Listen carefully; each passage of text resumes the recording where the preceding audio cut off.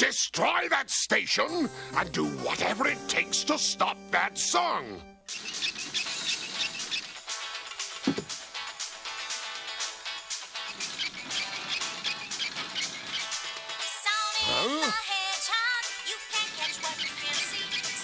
Didn't you hear me? I said!